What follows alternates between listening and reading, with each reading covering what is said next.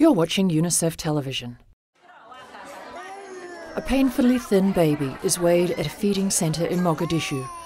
Somalia's capital has been flooded with families who've been driven out of the south because of famine.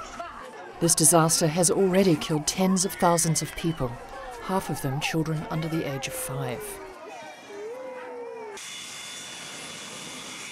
UNICEF and its partners are rushing aid to those in desperate need, but hundreds of thousands of lives hang in the balance. We are seeing now that the proportion of malnourished children who are severely malnourished is already at 50%. This is an extremely, extremely worrying proportion because normally that would be around 5 or 10%. UNICEF has set up feeding centres on Somalia's borders with Ethiopia and Kenya to help the hundreds of thousands of people who are leaving the country. This centre in Dulo is a haven for families who've made the long and dangerous journey from the south. Some are in very poor health. We have some that are in an okay state because they've only come from about 50 kilometers away.